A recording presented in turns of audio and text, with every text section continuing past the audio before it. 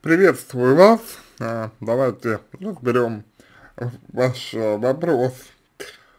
А, мне уже за 30, но серьезных отношений с мужчинами не было. Плане интима можно сказать тоже.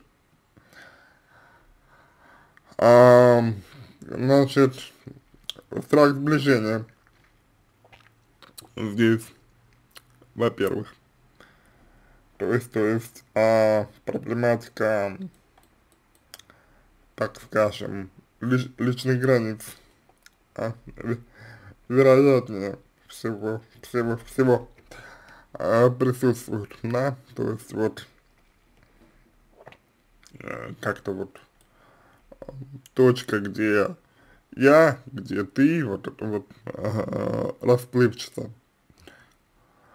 А серьезные отношения, ну вот вы говорите, серьезных, серьезных отношений именно прямо не было, да?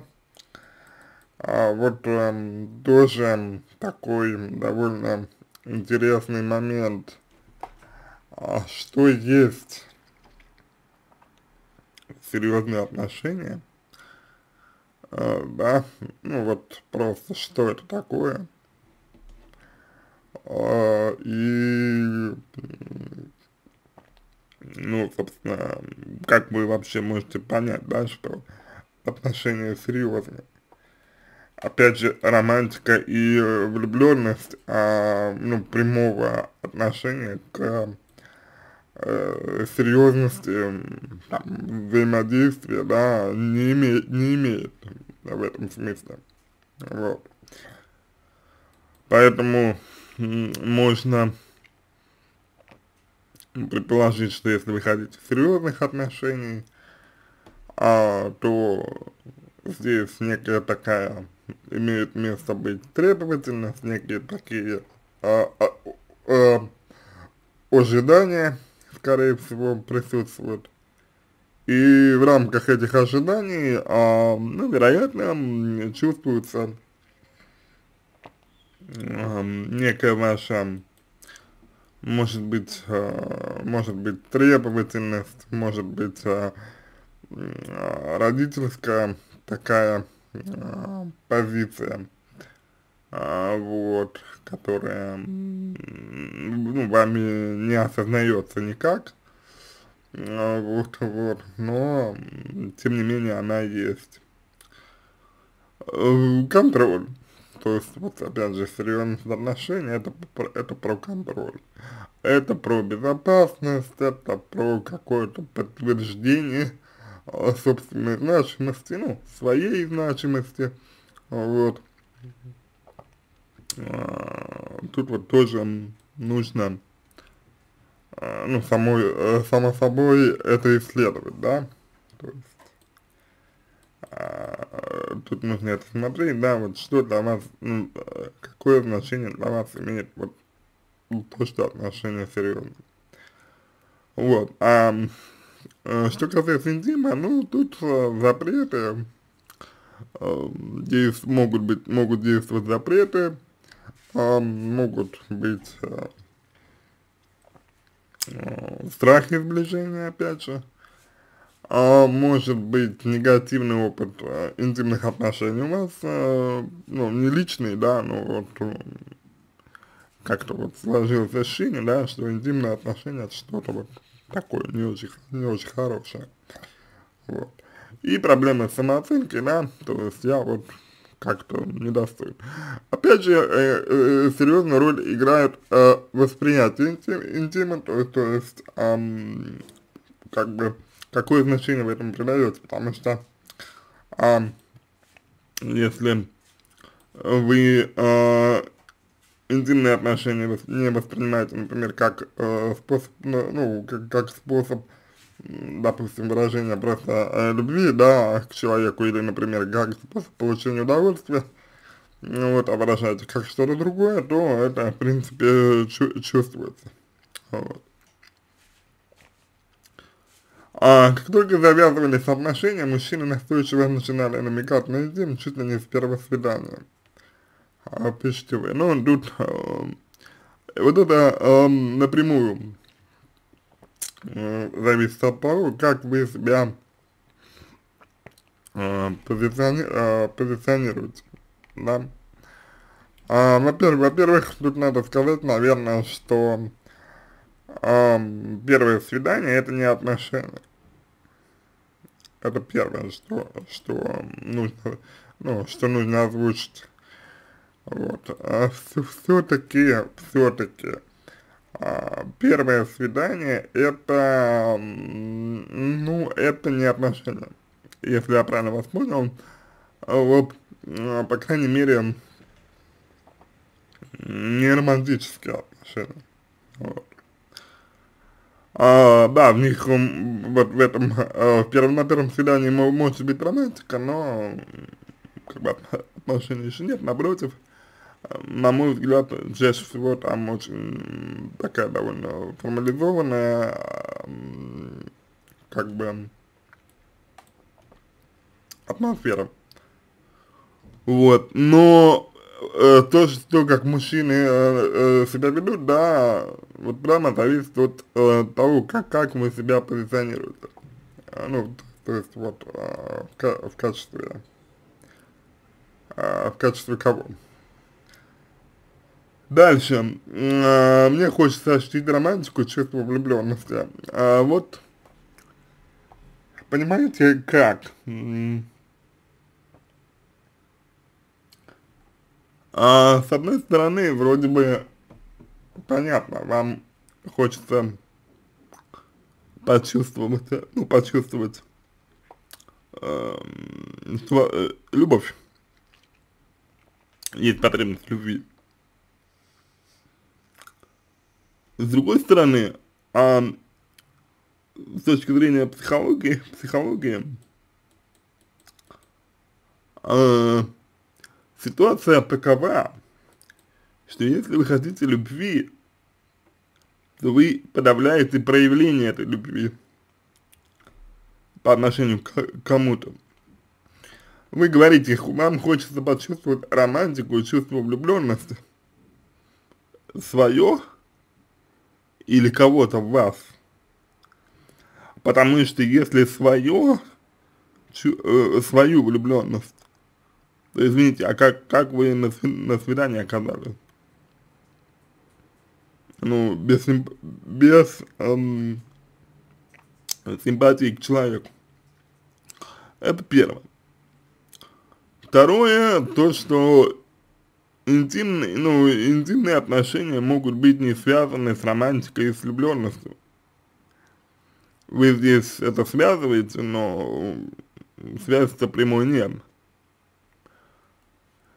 Или есть, или есть для вас.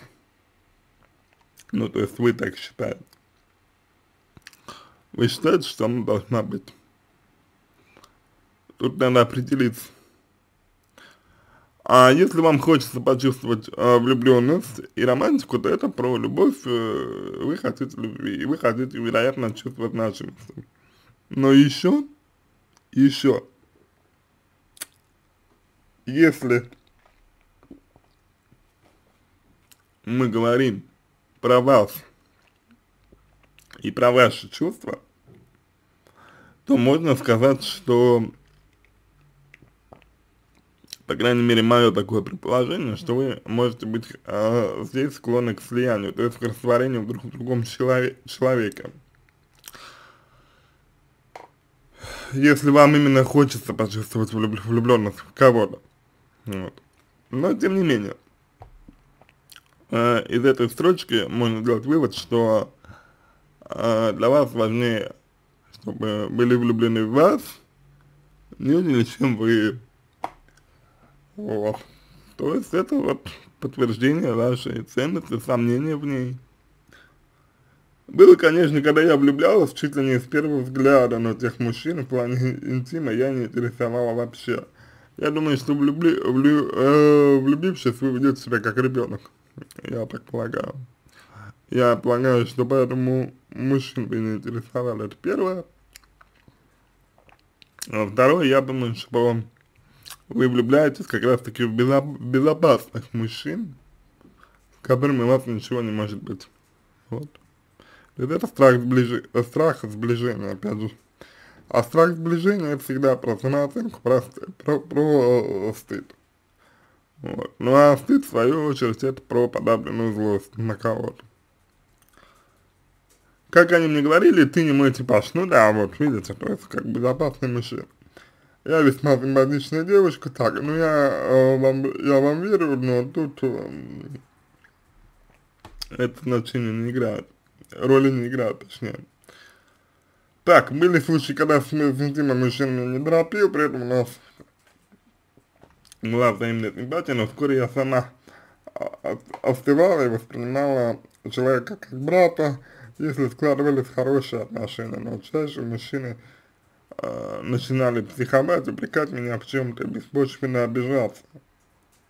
Ну, э, если мужчины начинают себя так с вами вести, то, вероятно, они отзерка отзеркаливают вам то, что вы проявляете в себе. Да? То есть, вы пишете, мужчина не торопит с интимом, у нас взаимная симпатия, но вскоре я остываю.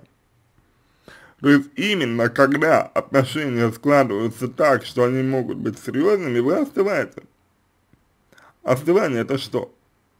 Это как раз таки защита. Защита от э, серьезности отношений. А дальше, ну, э, вы можете это пытаться скрыть, да? Э, дело в том, что ну, когда люди остывают, да, то такой близости не хочется, а в случае, если она продолжается, то возникает раздражение. Это может возникать у вас, вы это подавляете, а мужчина это чувствует и отзеркаливает вам. Вот. Ну, что касается того, что вы говорите, что мужчина беспочвенно обижается, это конечно, родительская позиция очень у, вас. И я думаю, что э, здесь могут быть большие проблемы с коммуникацией у вас и мужчин. В результате, в результате общения сходил на нет, мы расставались. А мне очень интересно, на каких, на, на каких основаниях вы выстраиваете отношения с, с мужчинами, с, э, с мужчинами. Вот мне прям очень интересно, что общего между вами и вашим мужчиной. Так, здесь есть сильная взаимная симпатия и влечение, но мужчина хоть уже давно и не нет, и достаточно опытный, опытный в этом плане, не решается пойти на этот шаг, говорят, что боится сделать мне больно. Он чувствует э, подсознательно, что вы даете этому какое-то большое значение. Вот. То есть вы скованы. Он чувствует вашу скованность, чувствует вашу зажатость, определенную естественность, и, соответственно, вот говорит про, про боль. Вот. Но очевидно, что а, в метафорическом смысле боль ему, больно вам ему хочется сделать, потому что тут имеет место быть некая агрессия, некая агрессивность по отношению к вам, вот. А, потому что когда человек скован, а, он а, мотивирует партнера, а, ну, также себя сковывать немножко, подстраивать, да, и это рождает, вот такую вот, такую вот историю. Стал больше отдаляться, объясняться, да, обида это пассивная агрессия, обида это пассивная агрессия, то есть когда я вот агрессию, да, не выражаю прямо, вот, Говоря, что я прикидываю, что я к нему равнодушным, у меня к нему только меркантильный интерес. Ну, это рационализация в данном случае, то есть это мужчина, может быть, даже не осознает того, что происходит, но вот пытается, ему, ему некомфортно контакты с вами. И вот придумывает какие-то объяснения. Вот. А при каждом новом близком знакомстве мужчина думает, что у меня установка секс только после брака, хотя это не так. А я думаю, что это форма, секс после брака, это форма только. Я думаю, что вы сами стыдитесь, а вот, с одной стороны, а, отсутствие опыта, опыта у вас, а с другой стороны, а, вы хотите безопасности, вы не очень доверяете себе, вот, вследствие чего ведет себя как родитель, да, есть занимаете такую вот достаточно строгую, получается, пози позицию, вот, из-за чего вы, ну, чувствуетесь как скованно. В итоге, так, э, отсутствие опыта мешает строить полноценные отношения, подскажите, как бы, как быть. Ну, в принципе, я думаю, что э, тут э, необходимо э, больше, э, больше информации о вас, э, в первую очередь. Вот. Э, второе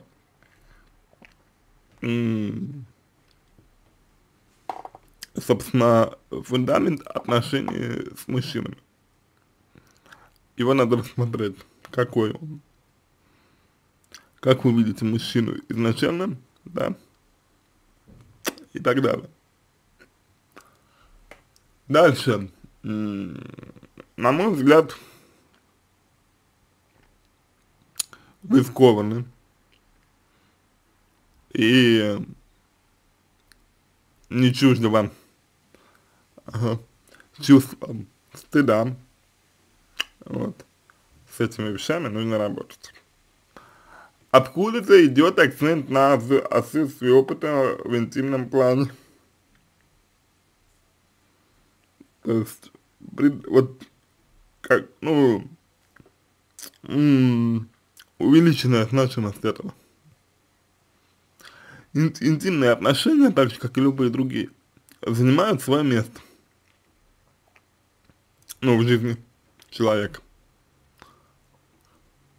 Они у вас как будто бы занимают немного, немного больше места. И очевидно, что это для чего-то нужно. То есть какие-то свои вот потребности, какие-то свои конфликты, противоречия, да, вы решаете вот за счет них нужно увидеть, посмотреть, что именно, и немножечко так рассредоточить э, те мотивы, которые у вас сейчас расположены в сфере интимных отношений. А, всего самого доброго, если говорить о том, как быть, то лучше всего пойти на психотерапию, буду благодарен за обратную связь по моему ответу, это позволит вам начать над собой работу. Всего самого доброго.